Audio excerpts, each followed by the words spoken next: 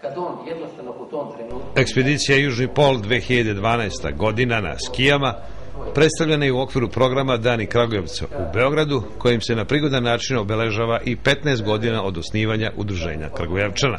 On se oslonio malo više na noge. Tako se priključio ekspediciji koja je krenula na osvajanje južnog pola na skijama.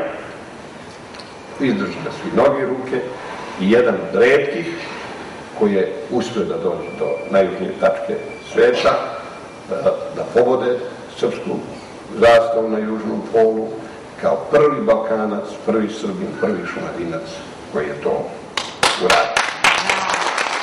O pohodu na Južni pol i svim iskušenjima na tom putu govorio je njen akter Dragan Jovović, koji je zajedno sa još trojicom Rusa 16. januara 2012. godine stigao na najjužniju tačku planete. Na skijama je prešao ukupno 110 km po ledenom bespuću.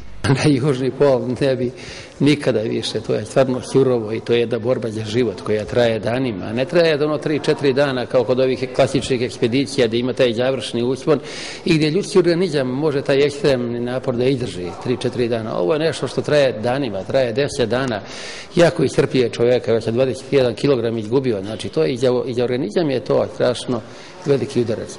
Znači na južni pol pa kažem i neprijatelju ne bi preporučio da ode tamo. To je stvarno surovo i naporno. Predavanju o ekspediciji koja je sobom nosila niz teških iskušenja prisustovao i episkop Šumadijski Jovan, a pored Kragujevčana i veći broj stanovnika Beograda koji su ga sa zanimanjem pratili i sa mnoštvom pitanja posle uvodnog izlaganja.